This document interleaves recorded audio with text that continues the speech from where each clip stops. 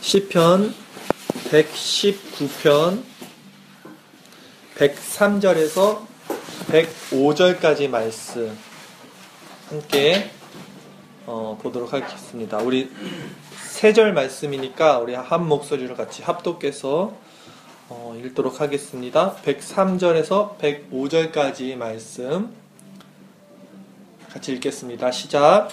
주의 말씀에 마치 내게 어찌 그리 단지요 내 입의 꿀보다 더 단이다 주의 법도들로 말미암아 명철하게 되었으므로 모든 거짓 행위를 미워하나이다 주의 말씀은 내 발의 등이요 내 길의 빛이니이다 아멘 할렐루야 네 반갑습니다 우리 친구들 일주일 만에 또 얼굴을 보는데 우리 옆에 친구 한번 인사해 볼까요?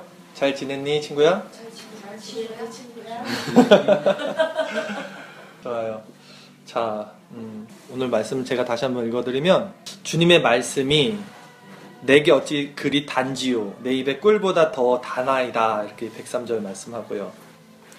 105절 보면 주님의 말씀은 이 성경은 내 발의 등이요 내 길의 빛이니이다 라고 이렇게 말씀해요. 그래서 오늘은 말씀에 대해서 설교를 할 건데 저 저번 주에 성경에 대해서 설교를 한번 한 적이 있었어요. 근데 오늘도 또 공과에서 성경에 대해서 말을 하더라고요.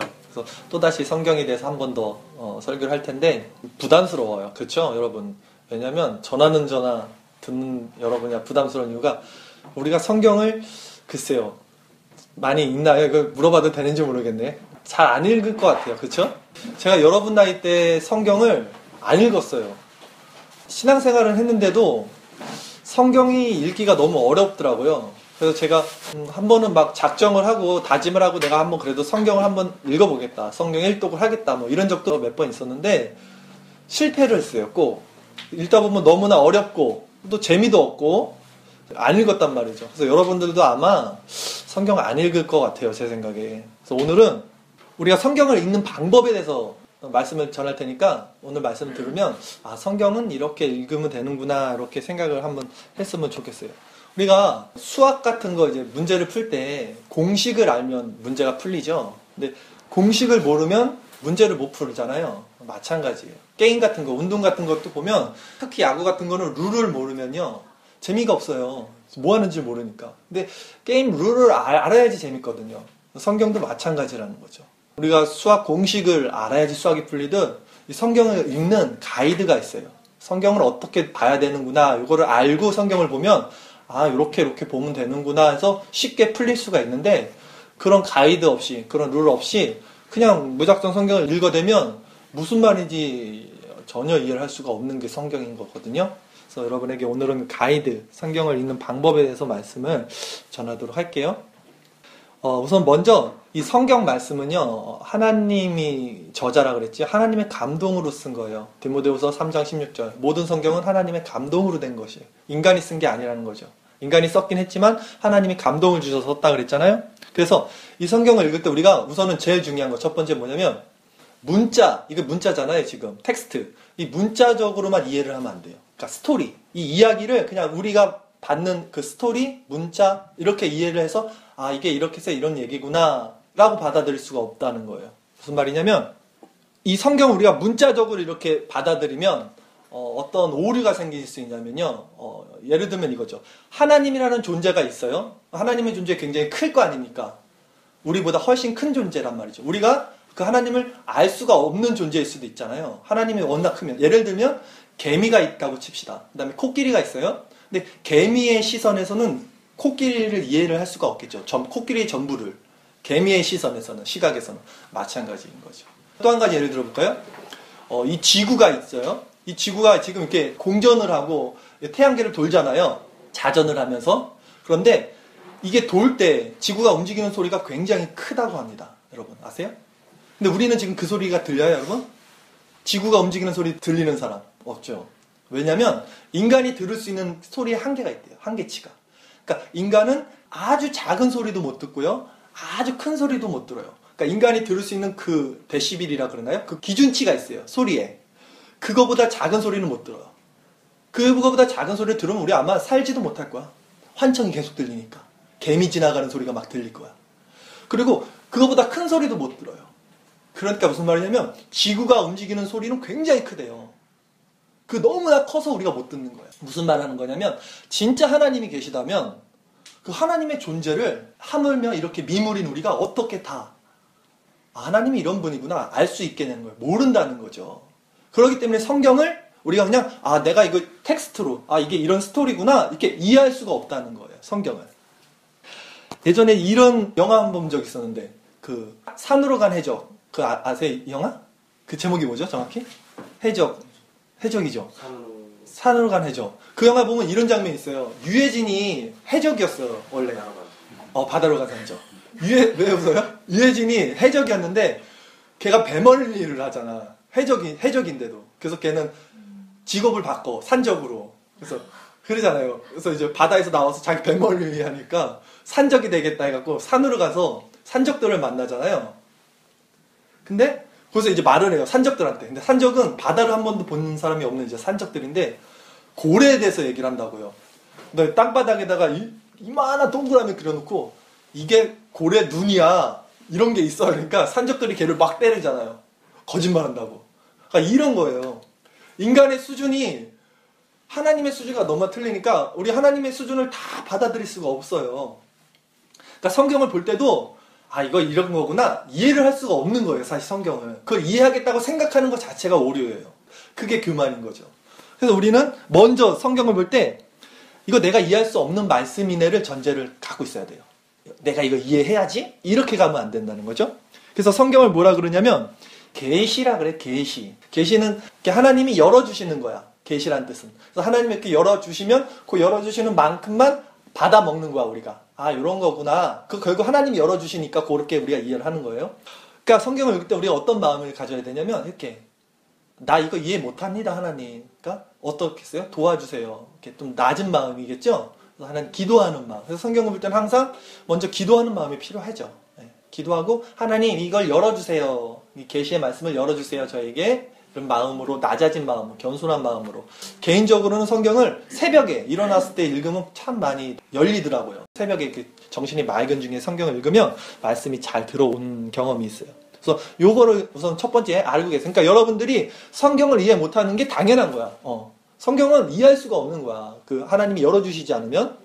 그 다음에 두 번째 이게 중요해요. 성경은 어느 한 부분만 읽어서는요 그 전체를 이해를 못해요 한 부분만 읽어서는 전체 주제를 이해를 못해요. 성경은. 그러니까 맥을 짚어야 된다는 말을 하잖아요. 사람들이. 이 성경이 흐르는 맥을 알아야지 이게 이해가 가는 거예요. 성경 한 절만 읽어서는 이해를 못하는 거죠. 왜냐하면 성경이 1600년 동안 써졌다 그랬잖아요. 30여 명이 저자들이 살아간 시대가 틀리고 환경이 틀리고 그 사람이 쓰는 문체들도 다 틀려요. 그게 1600년 동안 66권을 썼는데 각 시대별로 그러니까 내용들이 다 틀린 거야. 우리가 그걸 보면 이해가 안 가는 거야, 이게. 이, 여기서는 이런 얘기하고, 여기서는 또 다른 얘기하고, 막 이렇게 하게 되거든요, 성경 읽어보면. 그러니까, 주제가 파악이 안 된다는 거죠. 그 성경을 읽을 때는 맥을 잡아야 되는데, 우리가 성경을 볼때 가장 어려운 게 바로 이 점이거든요. 주제를 파악을 못 하는 거야. 이게 도대체 무슨 말이지? 왜냐면 이런 거예요, 쉽게 얘기하면. 한쪽에서는 예를 들면, 믿음으로 구원을 얻는 거야 라는 말을 해요, 성경에서. 근데 이쪽에서는 뭐라 그러냐면요. 행함으로 구원을 얻는 거야. 이런 말도 해요. 모순이 되는 거죠. 역설이 일어나는 거예요. 그런 것들을 전체 맥을 짚지 못하면 이단이 그래서 생기는 거예요. 이쪽 성경 갔다가 아 이렇게 해석하는 거예요. 그러니까 한 구절만 볼 수는 없다는 거죠. 그러니까 예전에 전사님이 청년 때 교회 일을 막 하다 보면 교회에서 잠을 자요 이제. 친구랑 같이 잠을 자요. 근데 제 친구 중에 그 청년부 그때 회장이 있었어요. 굉장히 믿음이 좋았어요. 찬양도 엄청 잘해. 지금도 연락하는데 그 친구랑 나랑 이제 둘이서 교회에서 잠을 자는데 한 이런 적이 있었어요. 그 친구가 잠자기 전에 갑자기 성경을 딱 피더니 아 이제 말씀 읽어야지 하더니 잠깐 기도를 하더라고요. 신앙이 진짜 좋은 친구였어요. 성경을 한 딱 펴 아무데나 한 절을 한 절 딱 읽고 딱 덮어. 자기는 그렇게 있는데 한 절 한 절 딱 읽고 딱 덮어버리고 자더라고요. 어그 성경 저렇게도 읽는구나 그땐 그랬는데 굉장히 위험한 거예요. 그렇게 읽는 거예요. 그런 얘기 있잖아요. 어떤 사람이 아, 내 성경을 읽으려고 그랬는데 너무나 이게 지루한 거야. 힘든 거야. 그래서 아유, 기도하고 하루에 한 절씩만 읽자. 그 말씀이 하나님이 나에게 주신 말씀이라고 생각하면 되지 뭐. 해갖고 아침마다 성경 이제 한 절씩 읽는 거야.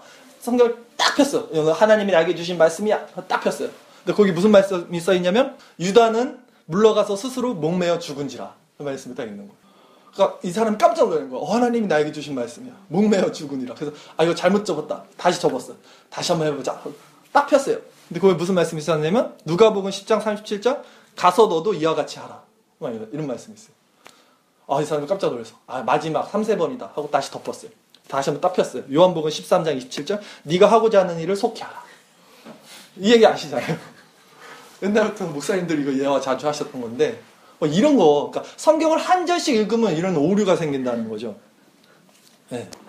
그 친구처럼 내 친구도 한 절만 갖고는 전체는 이해를 못하는 거예요. 성경을 쭉 읽어야 돼요. 전체를 성경을 그러니까 창세기부터 요한계시록까지죠. 쭉 봐서 전체가 뭘 얘기하는지 이거를 맥을 잡는 게 굉장히 중요한데 그게 힘들잖아요. 그 QT 아시죠? QT. QT도 비슷한 거거든요. 아침에 이렇게 한 장 정도 읽고 그 한 장에서 하나님이 내게 주신 말씀이 뭘까를 묵상하면서 이제 적용을 하는 게 QT인데 성경의 전체 맥을 아는 사람이 QT하면 상관없는데 성경이 진짜 전체 맥 주제를 모르는 사람이 QT하면 그것도 되게 위험해요. 왜냐하면 성경이 뭘 얘기하는지 전체 주제를 모르는데 그 한 장 읽고 자기가 빼먹는 거거든요. 아 이거 나한테 적용시키면 좋겠다. 자기 자의적으로 해석을 하기 때문에 큐티도 좀 조심한 거고요. 그래서 전사님이 이렇게 지금까지 성경을 읽으면서 전사님이 기준으로 내린 거는 성경을 읽을 때 한 세 장 정도 읽으면 좋은 것 같아요. 세 장. 한 번에. 그러니까 한 번에 한 장 정도 읽는 것도 부족해.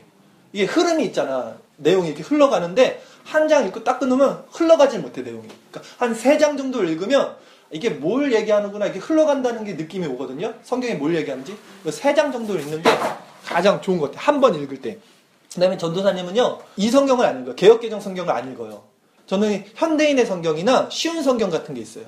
어, 뭐냐면 쉽게 해석을 했어요. 성경을 우리가 읽기 쉽게. 괜찮아. 내용이 더 그것도 똑같은 내용이에요. 그래서 전생 그런 성경을 읽는데 그것도 좋은 것 같아요. 그러니까 이해하기 쉽게. 그러니까 한 번 읽을 때 세 장 정도씩 쉬운 성경이나 현대인의 성경 같은 거 어플 받으면 요즘에 다 나오거든요. 무료거든요. 성경. 그래서 그렇게 읽어요. 그래서 전도사님 같은 경우는 하루에 그렇게 해서 정해놔요. 왜냐면 안 정해놓으면 또 귀찮아서 못 읽거든요. 그래서 하루에 네 번을 읽어요. 세 장씩. 시간을 정해서. 새벽 6시, 낮 12시, 저녁 6시, 잠자기 전에 12시. 이렇게 해서 네 번을 세 장씩 읽으니까 3, 4, 12. 하루에 12장을 읽게 되더라고요. 이게 규칙이에요, 전사님이. 그러면 네 달에 한 권이 읽게 되더라고요. 그러니까 전사님이 주일날은 안 읽거든요, 성경을. 주일 빼고도 그 일주일, 6일 동안 그렇게 읽으면 네 달이면 성경을 한 권을 읽게 돼요. 그러면 1년이면 세 권을 읽게 된단 말이에요. 그런 식으로 전사님 읽어요. 그러니까 여러분들에게도 그렇게 막 읽어라는 얘기는 아니지만 성경을 한 절씩 읽고 덮으면 안 돼. 한 장 정도도 안 돼, 사실은. 내가 봤을 때는 한 세 장은 읽어줘야 돼. 한 번 읽을 때. 내용이 이해가 안 가더라도 쭉 읽어가야 돼. 그래서 그 흐름, 맥을 알아야 된다는 말이죠. 성경 읽을 때. 전사님이 처음에 성경을 읽었을 때 얘기했을 거야, 아마. 전사님도 20살 넘어서 한참 나이 먹어서 성경을 1권을, 1독을 했었는데 한 1년 조금 안 돼서 읽었어요. 사실 되게 오랜 시간 동안 읽었어요. 근데 전사님이 성경을 다 읽고 나서 느낀 건 뭐였냐면 아무것도 이해가 안 가는 거예요. 성경에 한 5%도 이해가 안 가는 거예요. 내가 읽어놓고도 이해가 안 가는 거예요, 성경이. 그때 성경을 처음 읽고 느낀 게 뭐였냐면 사람들이 하나님을 계속 배신하는 거예요. 그래 하나님이 계속 그 사람들을 용서하시는 거예요. 그러면 사람들이 또 배신하고 하나님이 용서하고 그거 하나가 남더라고요. 제가 성경을 다 읽고 나서는. 야 이렇게 몇 번 용서해주면 그 다음부터 말 잘 들어야 되는데 이 사람들은 용서 받고도 또 배신하네? 그럼 하나님은 근데 또 용서해 주시네? 그걸, 그걸 느꼈거든요. 근데 나중에 선생님 성경을 두 번, 세 번, 네 번, 다섯 번 계속 읽다 보니까 그게 성경의 주제예요, 그게. 그게. 뭐냐면 성경은 아주 단순해요. 그 명확하게 고집스럽게 한 가지 일을 전하는데 우리에게 한 가지 메시지만을 전하는데 하루 뭐냐면 그거예요. 사랑과 용서예요. 사람이 하나님을 계속 배신하는 것, 하나님의 성경을 통해서 말하는 건 계속 그 사람을 용서하시고 어, 그 사람을 사랑하시는 것. 그러니까 이게 성경의 맥이에요, 여러분. 성경에 흐르는 맥. 배신하면 용서하시고, 배신하면 용서하시고, 배신하면 용서하시고. 근데 이게 이 스토리가 나중에 어떻게 되냐면 성경을 여러분들이 읽다 보면 이 성경 속에 그 배신하는 많은 사람들이 얘기가 처음부터 끝까지 나오거든요. 아담과 하와가 배신을 했잖아요, 하나님을. 그 다음에 예수님 시대 때는 예수님 12제자도 예수님을 다 배신했단 말이죠. 그러니까 성경이 처음부터 끝까지가 다 배신이고 처음부터 끝까지가 다 용서란 말이에요. 근데 그걸 보면서 나중에는 아, 이 배신하는 자들의 모습이 내 모습과 이렇게 오버랩 된다 그래요. 일치가 되는 거야. 왜? 우리도 지금 하나님 배신하지 않아요? 하나님 믿는다고 말하고 예배를 드리면서도 또 한편으로는 하나님 잊고 살고 세상에서도 내가 주인이 돼서 사는 모습이 우리 안에 있잖아요. 그러니까 성경을 읽으면서 이게 오버랩 되는 거야. 성경에 이 사람들이 남의 얘기가 아니네? 이 역사가 6천년의 이 지구의 역사가 남의 얘기가 아니라 이 성경에 써 있는 이 사람들의 마음이 남에게 한 나랑 똑같은 애를 알게 된단 말이죠. 그러면서 뭘 깨달아요? 그럼에도 불구하고 하나님이 계속 용서하시는 거예요. 야, 이거는 용서할 수도 없는 이 정도인데도 또 용서하시는 거 성경을 통해서 배우면서 아, 그러면 이런 나도 하나님이 용서하신다는 거네? 이걸 깨닫게 되는 거예요. 성경을 통해서. 이게 제일 중요한 주제라는 거예요. 우리가 성경을 봐야 되는 이유가 여기 있는 거예요. 그러니까 여러분들이 교회 와서 내가 생각을 해봤어. 여러분들 왜 교회 하면 이렇게 주눅 들어 있고 고개 숙이고 있고 전소님이랑 눈도 못 마주치고 병든 닭처럼 있을까를 고민 고민을 해봤어. 왜 그럴까 도대체? 전선생 생각엔 그거 같아. 모르겠어. 전선생 생각에 뭐 같았냐면 여러분들이 하나님 앞에 부끄러운 거야. 뭔가가 죄스러운 거야. 내가 하나님 앞에 떳떳하면 찬양 부르는 게 왜 즐겁지가 않고 입을 열어서 찬양을 못 하겠냐는 거야. 뭐가 찜찜한 거야. 뭐가 찜찜하니까 내 신앙이 찜찜한 것 같으니까 이 찬양도 못 부르고 교회 와도 뭔가 이게 주눅 들어 있는 것 같아요. 근데 그럴 필요가 없다고 내 말은. 내 안에 있는 죄 이거 아 너무 부끄러워서 하나님 앞에 못 나가겠어요. 그럴 필요가 없다고요. 왜? 성경을 통해서 보면 끝까지 죄를 져도 하나님 끝까지 용서하시는 게 하나님 마음이에요. 그러니까 나 하나님 부끄러워서 찬양 못 들었겠어요. 나는 나는 아유 전도사님 눈도 못 맞추겠어요. 교회 오면 이러지 말고 이런 이런 나도 하나님은 그래도 사랑하시네. 그러니까 오늘도 여기 나를 불러주셨네. 이렇게 마음을 바꾸란 말이에요. 네. 하나님은 그런 여러분도 받아주신다는 거예요. 내 말이 아니라 성경이 그 주제가 그거라는 거죠. 그래서 이런 나도 하나님 끝까지 사랑하신 애를 성경을 통해서 깨닫는 사람들이 어떻게 되냐면 이 하나님 사랑에 이렇게 함몰된다 그러죠? 빠져버리는 거예요. 이게 성경이 우리에게 가르쳐주는 순 기능이에요. 그래서 그 성경을 통해서 그 사랑을 받은 사람들이 어떻게 변해요? 그 사랑을 전하는 거예요. 간단한 거예요. 성경의 이치는. 내가 그 사랑을 깨닫고 하나님의 사랑을 받으면 그 사랑을 이렇게 전해요. 이 단계까지 가야지 성경을 제대로 읽게 되는 겁니다. 이 성경에서 말하는 주제가 사랑과 용서라 그랬죠? 그리고 그 사랑과 용서의 중심에는 누가 있어요? 예수님이 계신 거예요. 예수님이. 십자가가.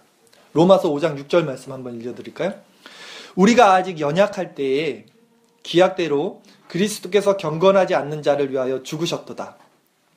의인을 위하여 죽는 자가 쉽지 않고 선인을 위하여 용감히 죽는 자가 혹 있거니와 우리가 아직 죄인 되었을 때 그리스도께서 우리를 위하여 죽으심으로 하나님께서 우리에 대한 자기의 사랑을 확증하셨느니라. 그랬어요. 그러니까 우리가 죄인 되었을 때, 그러니까 여러분들 주눅 들지 말라는 얘기예요.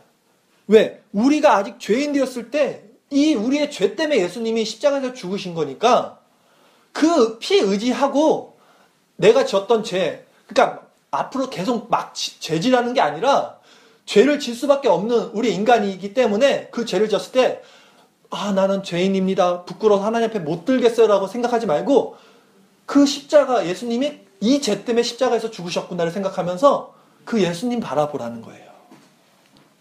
하나님께서 우리에 대한 자기 사랑을 그렇게 확증하셨다는 거죠. 그러니까 여러분들은 이 성경을 통해서 이걸 깨달으면 돼요. 자, 정리를 할게요, 오늘. 첫 번째 뭐였어요? 성경은 계시다. 계시는 뭐였어요? 하나님 열어주시는 거. 개미가 코끼리를 이해 못하듯이 지구가 움직이는 소리를 우리가 듣질 못하듯이 하나님의 존재라는 것이 분명히 있다면 우리 미물인 인간이 어떻게 하나님을 감지할 수 있겠어요? 인식할 수 있겠어요? 인지할 수 있겠어요? 없어요. 성경을 어떻게 이해할 수 있겠어요? 없습니다. 그렇기 때문에 이 성경을 그저 우리가 이 문자적으로 이 스토리로 이해하면 안 돼요. 이걸 얘기를 했어요. 근데 이렇게 이해하는 사람들이 있어요. 기독교 안에서도. 그걸 세대주의자들이라고 그러거든요. 문자 그대로 이해하는 거예요. 이 스토리 그대로. 그럼 안 돼요. 왜 안 되냐면 한 가지만 더 얘기해 주면 이런 거죠. 그러니까 문자적으로 이해하면 안 되는 이유가 이런 거죠. 쉽게 얘기해서. 예수님이 기적을 행할 때 나사로라는 사람이 죽었어요. 예수님이 살렸단 말이에요. 나사로를. 나사로야 일어나라. 그리고 끝났어요. 그걸 만약에 스토리로 이해한다면 어떻게 이해가 돼요? 야, 예수님 대단하다. 저 죽었는데 살렸네? 예수님 진짜 대단하다. 이렇게 이해가 되죠. 그 여기가 끝나죠. 이게 스토리적으로 이해하는 거예요. 또 한 가지 예를 들어볼까요? 오병이 아시죠?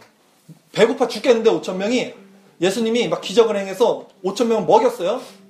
그럼 이거를 스토리 문자적으로 해석하면 어떻게 돼요? 야 예수님 대단하네. 그 어떻게 저렇게 기적을 행하니? 야 신기하다. 이거 끝나죠. 이게 문자적으로 해석하는 건데 다 봅시다. 하나님이 그 예수님이 그 나사로를 살리셨단 말이에요. 근데 나사로가 지금 살아 있어요? 죽었을 거 아니에요 지금. 그러면 어차피 죽을 사람을 그 사- 살려놓고 또 죽었는데 그또 죽을 거 그거, 그거 잠깐 몇 년 더 살게 하려고 예수님이 살리신 거예요? 그걸 성경에 기록하신 걸까요? 오병이어를 기적을 했는데 그 사람들 배 불렀어요. 먹었어요. 열두 강줄이 남겼어요. 그 사람들 이제 배 안 고픈 건 아니잖아요. 또 배가 고플 거란 말이죠. 근데 그거 잠깐 허기진 거 채워주려고 예수님이 기적을 행했다는 거예요? 그러면 뭐예요? 성경에 뭘 가르쳐 주고 싶은 거가요? 성경이 이걸 통해서 뭘 가르쳐 주고 싶은 거야? 자, 하나님 나라는 말이다, 얘들아. 이렇게 죽은 자가 살아나는 거야. 이걸 모형을 이렇게 보여주는 거야. 그리고 하나님 나라는 이렇게 먹는 것과 입는 것에 있는 게 아니야. 하나님 오직 의와 희락과 화평이야. 그것을 모형으로 보여주는 거예요. 이런 기적들이. 그것을 표적이라 그러잖아요. 표적 뭐냐면 표적은 보이지 않는 것을 보이는 것으로 나타낸 걸 표적이라 그러거든요. 그러니까 우리가 이거 성경은 그런 걸 모르고 그냥 이렇게 문자적으로 이렇게 눈에 보이는 대로 이해하면 이런 거예요. 그때도 얘기했죠. 견월망지. 달을 보세요라고 손가락으로 달을 가르쳤어요. 누가 저 달을 보세요. 근데 사람들은 저 달을 안 보고 이 손가락을 보고 있는 거예요. 예수님 기적을 행했어요. 저 하는 하나님 나라를 바라보세요. 근데 하나, 사람들은 야 저 사람 죽은 사람을 살리네. 저 5천 명만 먹이신다. 야. 손가락을 보는 거죠. 이게 문자적으로 해석하면 이렇게 되는 거예요. 그러니까 다시 정리를 하자면 성경은 계시야. 우리가 이해할 수가 없어. 개미는 코끼리를 이해 못해. 쉽게 얘기하면. 그러니까 하나님 이 성경을 통해서 우리에게 뭔가를 가르쳐 주시는데 그 하나님이 열어주셔야 돼. 그러니까 항상 겸손한 마음과 기도하는 마음으로 이 성경을 봐야 된다는 게 첫 번째였고요. 두 번째는 뭐였냐면 실질적으로 우리가 성경을 어떻게 읽자라는 얘기를 했어요. 뭐냐면 전생의 친구처럼 한 절씩 읽으면 절대 안 돼요. 위험해요. 한 장도 부족해요. 내가 봤을 때는. 최소 세 장. 세 장을 읽을 때 정독하지 말고 그냥 확 넘겨. 전도사님도 세 장 읽으면 한 5분도 안 걸려. 그렇게라도 보는 게 중요한 거예요. 그리고 여러분들이 우리가 연약하니까 정해놓고 보란 말이에요. 하- 내가 하루에 그래도 세 장은 보겠다. 한 번 볼 때 세 장. 그렇게 정해놓고 쭉 해서 성경을 처음 창세기부터 요한계시까지 보란 말이야. 그냥 보는데 의미를 둬. 이해하려고 하지 말고. 우선은 맥을 잡아야 된다니까. 우리가 이해하려고 해서 이해가 되는 책이 아니라니까. 하나님이 열어 주셔야지만 이해가 되는 책이기 때문에 그런 마음으로 봐야 된다는 거죠. 그렇게 되었을 때 우리는 이 성경에서 뭘 배워요? 하나님을 배신하는 자의 모습이 결국 나의 모습이네를 알게 된단 말이죠. 그래도 끝까지 용서하시는 이 하나님의 사랑을 우리가 성경을 통해서 보고 그 예수를 만나게 된다는 거예요. 인격적으로. 그래서 그 예수를 이 성경을 통해서 만난 사람들이 어떻게 변해요? 그 사랑을 이렇게 전해주는 거예요. 예수님이 나를 용서하시고 나를 이렇게 기다려주신 거를 이 성경을 통해서 깨달은 사람들이 또 기다려주는 거야. 용서하는 거야. 우리 선생님들이 힘들어도 여러분들을 기다리는 거거든요. 지금 이게. 얘네들이 언젠가는 이렇게 하나님을 알게 될 거야를 그거 자꾸 기다리는 거거든요. 어떻게 기다리겠어요? 선생님들이 받은 거거든요. 우리가 하나님이 우리를 기다려 주셨잖아요. 그런 거예요. 이- 이게 성경을 통해서 우리가 알게 되는 거니까요. 하나님 우리를 용서해 주신 거를 우리가 알게 되면 내 얘가 싫어. 한 대 때리고 싶은데 그 하나님의 마음을 내가 알게 되면 아, 나도 하나님이 사랑해 주셨는데 하나님 마음이 내 안에 들어오니까 내가 어떻게 이 사람을 미워할 수 있겠습니까? 이렇게 되게 돼요. 이게 성경이 우리에게 가르쳐 주시는 순 기능이란 말이죠. 그래서 우리가 성경을 봐야 돼요. 이렇게 우리가 말씀을 안 보고 신앙생활을 하면요. 기도 열심히 하면 신앙이 좋아질 수는 있어요. 뜨거워질 수는 있는데 이렇게 말씀이 없이 그렇게 뜨거운 믿음은요. 풍량이 이렇게 일면 모래 위에 지은 집이 무너지듯이 이렇게 무너지게 돼요. 그런데 이 말씀을 통해서 그걸 진짜 깨달았어. 말씀을 통해서 야, 이 죄 짓는 사람들, 그 용서하시는 이 하나님, 이게 남에게 아니라 이게 내게였네를 진짜 이 말씀을 통해서 깨달은 사람들은요, 반석 위에 집을 지으면 이게 무너지지 않듯이 풍량이 일어날 때, 우리 믿음의 실현이 일어날 때 절대 안 흔들려요. 그래서 중요한 거예요. 말씀 이 있는 게 여러분. 말씀을 통해서 예수를 발견하는 게 그래서 중요한 거예요, 여러분. 여러분 신앙이 흔들리지 않기 위해서. 자, 오늘 설교를 통해서 여러분 마음속에 혹시 성령님께서 이 마음을 움직여주신 친구가 있다면, 아, 내가 진짜 성경을 읽어야겠다는 마음을 성령님께서 주신 우리 친구들 있다면, 어플 받으세요, 어플. 성경 들고 다니기 힘드니까, 무료 어플 하나 받아서, 현대인의 성경이든 쉬운 성경이든 체크하면서 보세요. 내 하루에 3장이면 3장, 하루에 12장이면 12장 읽겠다. 성경을 완독을 한번 해보세요. 한번 해보시겠습니까? 네, 아멘. 믿습니다. 그렇게 한번 해보십사, 우리. 자, 우리 오늘 본문 말씀 한번 다시 한 번만 읽고 오늘 말씀을 마치도록 하겠습니다. 우리 시편 119편이었죠? 103절부터 105절까지 말씀, 우리 세 절 말씀. 우리 하나님의 말씀이 얼마나 좋은 건지, 우리에게 중요한 건지. 우리 시편 119편 103절부터 105절까지 말씀 읽고 우리 기도하면서 예배를 마치겠습니다. 같이 읽겠습니다. 시작. 주의 말씀이 내게 어찌 그리 단지요 내 입에 꿀보다 더 단이다. 주의 법도들로 말미암아 내가 명철하게 되었으므로 모든 거짓 행위를 미워하나이다. 주의 말씀은 내 발의 등이요 내 길의 빛이니이다. 아멘. 기도하겠습니다.